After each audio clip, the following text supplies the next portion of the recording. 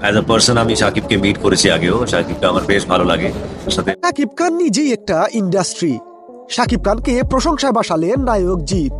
বাইরে বাই ভিডিওটি শেষ পর্যন্ত না দেখলে মিস করবেন। অবশেষে নায়ক জিতের মানুষ সিনেমা মুক্তি পেল বাংলাদেশে। কীভাবে মানুষ সিনেমাটি দর্শকদের ভালোবাসা লাগাতে যাচ্ছে, সেই সিনেমাটি উপভোগ করার জন্য ফেসবুকে একটি ভিডিও বার্তা দেন নায়ক জিৎ।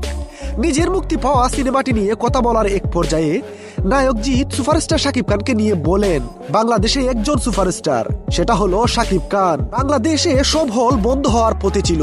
কিন্তু বর্তমানে শাকিব খানের জন্য টিকে আছে। সে নিজেই একটা ইন্ডাস্ট্রি। সে শুধু তার দেশেই সুপারস্টার না, সে আমাদের দেশেরও একজন সুপারস্টার।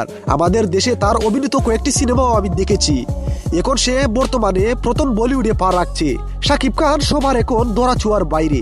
প্রিয় সম্মানিত ভিউয়ার্স নায়ক জিৎ নিজের নতুন সিনেমার পাশাপাশি শাকিব খানের অনেক প্রশংসাও করেন জিৎ।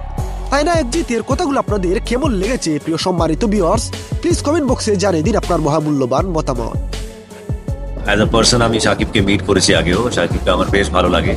সাথে মাঝে মাঝে দু একবার ফোনেও কথা হয়েছে।